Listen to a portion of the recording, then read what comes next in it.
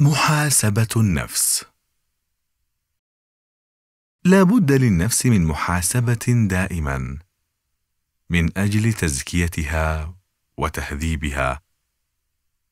وقد قال صلى الله عليه وسلم الكيس من دان نفسه. رواه الترمذي.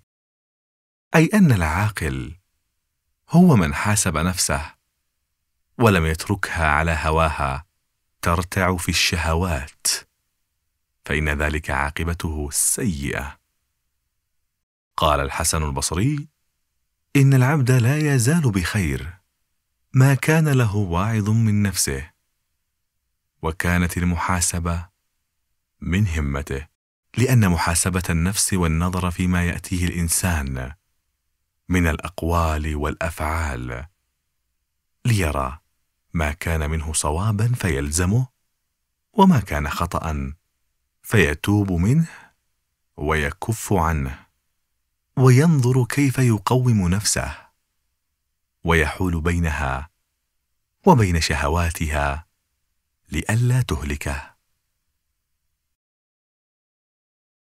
ويؤكد ابن القيم رحمه الله على ضرورة محاسبة النفس.